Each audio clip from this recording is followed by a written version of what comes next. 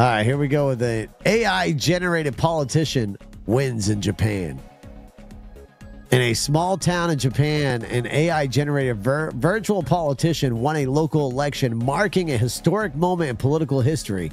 This AI, designed by a local tech startup, ran on a platform of data driven decision making and promised to revolutionize the way local governance was conducted. The AI's campaign focused on efficiency and the use of technology to so- solve community issues. However, the election of a virtual politician sparked a national and international debate over the role of AI governance. Legal and ethical questions were raised about the representation, accountability, and the future of political leadership. The virtual politician's creator defended their project, arguing it was a step towards more transparent and effective governance. This development led to a discussion about the potential and limitations of AI in decision making roles and raised questions about the future relationship between humans and the AI in society. I'm gonna go real. You're going real with that one, Zach.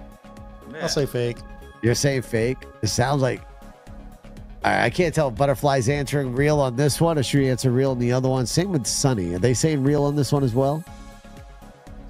What- Again, I wouldn't be surprised with Japan being so forward. Right. Japan Meaning- is very far further advanced than the U.S. But I'm just gonna say fake, just because I like to lean on the fake. You like you definitely love to lay on that fake. And Zach, you're saying real.